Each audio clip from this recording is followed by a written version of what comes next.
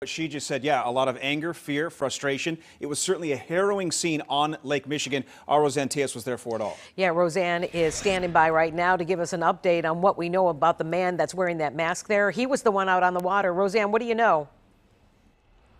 Well, he is apparently, he's talking to police right now, but I think he is being released. He was checked out. He's okay. We have the chief of the Marine unit uh, who is going to tell us a little bit more about what happened. This is uh, Jason Locke. Thank you so much for joining us. How are you? I'm good, but this has been a crazy morning here. Tell us what this man said. Why was he out there? So after talking with him once we got him back in, he was out just for a walk. When he from back home, he's from overseas. He's a local student here to college. Was out just for a walk. He had no idea he was on the ice at first. He was more than a thousand feet offshore on broken ice. And he didn't realize it was ice. He thought he was on ground. He thought he was on ground. He didn't know he was on open uh, over open water. Okay, we saw you with this, uh, you know, fancy inflatable device. Tell us how this uh, rescue went off. And and at one point he kept walking, and then did he finally realize you were all out here for him? It, uh, it took a while, but yes, because the distance he was out offshore.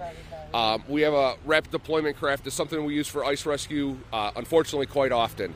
It's inflatable. It'll sustain about 2,000 pounds. It's an easy transport system for us when there's people on the ice to get them off safely. And uh, medical wise, he checked out okay. I saw him in the ambulance. He was cleared by our, our EMS people, yes.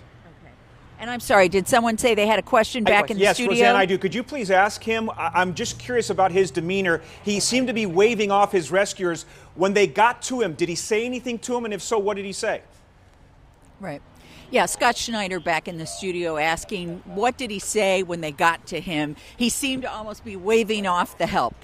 He had actually said he was out here just walking around, didn't know what all the big commotion was about, but he, then he also did not realize he was over open water on the ice. Roseanne, uh, Anita know, here. Some people were even concerned that you know maybe he should be in. Uh, you know, be in some trouble for causing all this fuss, but it sounds like he just had no idea, huh? he had no idea what was going on, and you could see by our rescuers coming back in, they were actually hitting patches of open water. So it was a dangerous situation out right. there. Rosia Padilla has a question. Yeah, could you ask the fire chief to show our viewers, and maybe with you and Sean, you could show our viewers physically right now with the camera and have him explain how difficult or easy it is for somebody to accidentally walk out there on the on from the land to the water? I mean, can you right. show us?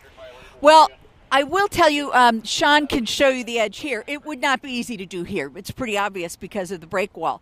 However, over where we were, I think maybe actually in the in the background there are different parts where the ice sort of does meet the shore. So I I guess um, uh, Chief, maybe you can tell me, do a lot of people make that mistake? How easy is it to do? It, it's actually kind of easy right now with the heavy snow that we have out there. Um, there are markers and holes that stay stay off the ice. Over by the beach area, they're all blockaded off to stay off the ice. So this gentleman walked down some slippery steps to get down to where he was at. Right. You know, I saw the chopper over him. I mean, is there any way, was anybody able to, to communicate with him? Because uh, people along the shoreline were screaming desperately and he couldn't hear. The fire department helicopter was trying to communicate with him uh, via their PA system that far out. Unfortunately, with the, the noise from the helicopter, the distance that they had to stay away so they didn't dust him or blow him over into the, into the water. Right. so sounds like he fi- it looks like he finally figured it out though yes, that ma'am. you're all here for him. Yes, ma'am. Okay, and uh, so now, once again, he's okay and he's just going to be released. Everybody's okay and everybody's going home. That's the best we can uh, hope for. And Roseanne, one more quick question, if you don't mind. Um, one just more a, a cautionary tale for our viewers. If someone finds themselves mistakenly out on water, should they be walking around as that gentleman did, or should they stay put and let the rescuers get to them? Right. Scott asks if if this were to happen to somebody else, if you think you're on the land and uh, and suddenly you realize you're on the water. Should you stay put or should you try and get back to shore? If you ever walk out on the ice and not knowing where you're at walk back in the same footprints. You know that's solid at that point in time. If you stay out there the longer you stay out there you could have hypothermia your weight could distribute things could change out there and you could fall through. Minimize your time out there stay low crawl back in if you're over open ice. This way you won't fracture the ice and go through Wow, and you see this, uh, uh, it sounds like all too often in the winter months in Chicago. Unfortunately, yes, we have a lot of people out there. We go after animals and everything. So, right. well, good job today. Thank you. I'll let them know. okay. Yes, please do.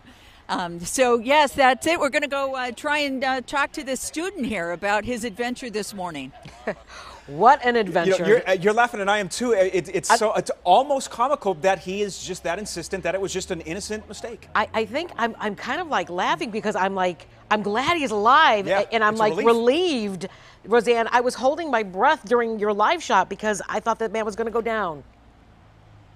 Yeah, you and me both. It was there were some uh, scary moments there where we weren't sure what he was doing. Um, so yeah, I'm going to zip over there. I'm going to Go to toss it Yeah. back to you guys and, and see if he wants to uh, we look share forward any to hearing thoughts. from him. All right, Roseanne, you do it. You're doing a great job. I'm sure you're going to get that interview too. we'll be right.